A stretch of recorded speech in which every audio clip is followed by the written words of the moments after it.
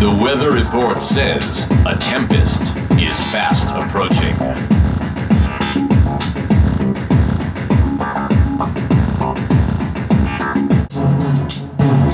Good evening, my friends. This is VJ Franz K, and we are here to talk about the amazing Tempest, which I think has a potential to become the greatest drum machine of all time. It is designed by Dave Smith and Roger Linn, two of the most amazing people in the history of synthesized sound and drum machines.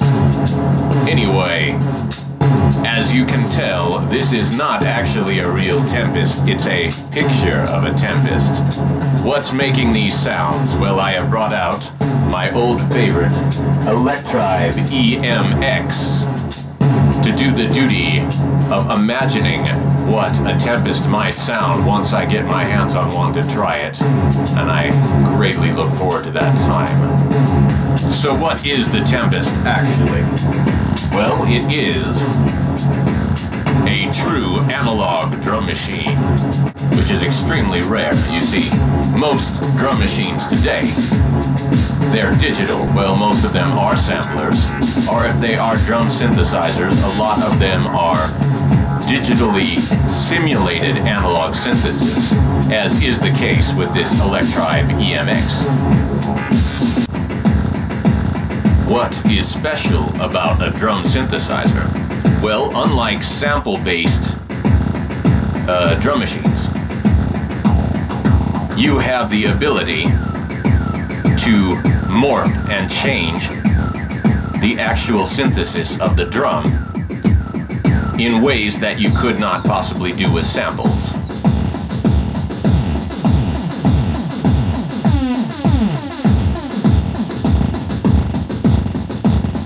Hear that rich distortion. Of course, this is the EMX, and I am using the tubes to simulate some of the analog warmth of uh, what we might have with a real Tempest button. And of course, analog filters, nothing will be digital along the way unless you are using the digital features of it.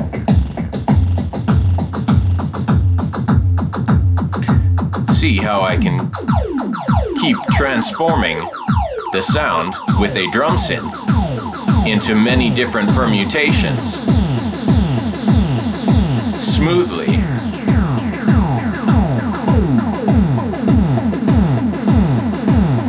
And of course, this is only a simulated analog drum synth.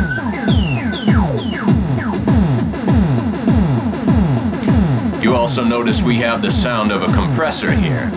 And uh, the Tempest includes an analog compressor as well on the end of the uh, chain, so all the better for your sound processing. Of course, what else can a drum synthesizer offer you?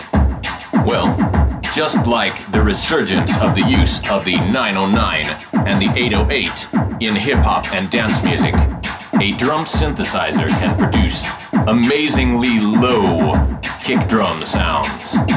Also, amazingly crisp hi-hat sounds. So, uh, in the world of electro, it is the gold standard. There are six voices, and each one of these six voices contains two analog oscillators and two digital oscillators, which means that you get the best of both drum machine worlds. You get the amazing, rich, adjustable, transformable tones of a true drum synthesizer, as well as you get the sampled uh, realism for simulating uh, acoustic drums and other effects uh, by using the digital oscillators. So it's uh, quite amazing to have even one voice of that, but here we have six. That is amazing. Each voice has a real analog Curtis low pass filter and a discrete two-pole high pass filter. So why have I chosen to use this Electribe to imitate for you the future sound of a Tempest? Well, like the good old Korg Electribe R, which is Yes, a digital simulation of an analog drum machine. Based on the specs of the Electribe EMX, you are basically able to completely emulate the sound of an ER1. So if you have a choice between one of the two, get the EMX, it has a lot more complicated features. The only thing I can really think of that it can't do is the exact character of the uh, echo changing. Uh, maybe I'll describe that in a notation. The Tempest, of course, has six different analog voices with uh, additional digital samples, but the signal path is totally analog. It never leaves that domain, and that is very special. Now, of course, uh, the venerable Electribe EMX here has uh, five simulated analog voices, which most people will use for the sound of synthesizer notes, but by being clever, we can use them to imitate the sound of analog drums. It's, uh, you know, it's simple. By using the LFO section and then setting it into the percussive mode here.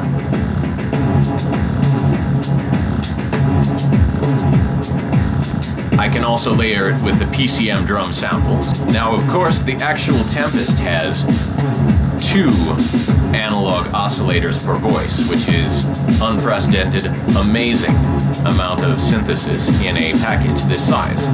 Um,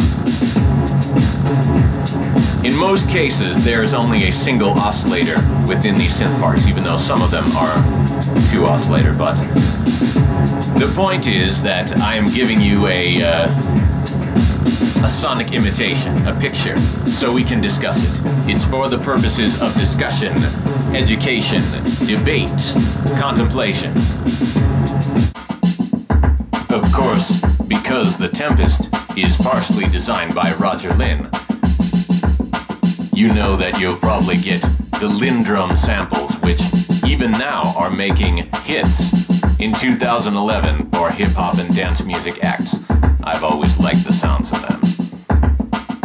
It's one of the first sampling, or one of the first sampled drum machines used a lot by artists in the 80s, and uh, as I said, having a huge resurgence right now.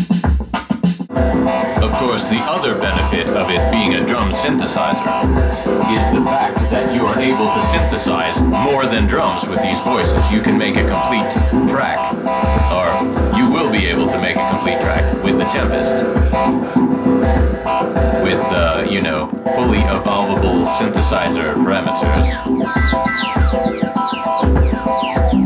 Which can be modulated in many different ways there are per voice, which is very, very nice. All sorts of interesting routing capabilities. As you can hear, I have a chord going here, and there are two analog oscillators per voice, so you will be able to make chords with a single voice. Tempest in a teapot.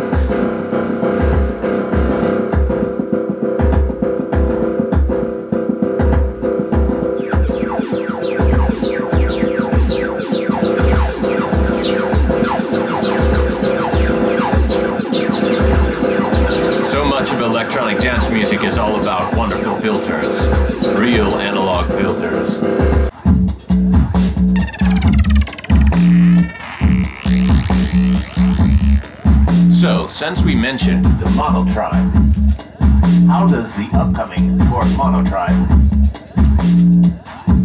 compare to the upcoming Tempest? Well, they are both similar machines in some ways because they are both actual analog machines. But uh, basically, we can say the monotribe is uh, much more budget priced, uh, much simpler. You know, you have one analog oscillator instead of 12. So, you know, um, if you like analog, you may want them both. Uh, of course, a classic component of dub reggae is having a mega low analog dub bass.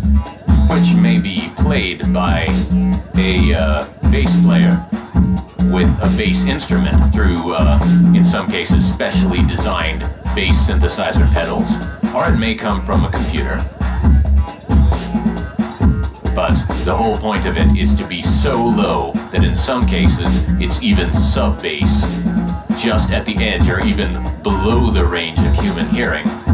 So, uh, of course, analog excels at producing these rich, rich basses. Just think about all the creativity that will be unleashed when you have a chance to combine an analog drum machine with uh, a digital drum machine in one unit. An analog drum machine that never sacrifices its true analog signal path. Instead, the digital takes a uh, second fiddle, so to speak. But it is there and it's ready for use. And because it's going through analog filters, it's all the more rich and amazing. No matter what happens, never give up.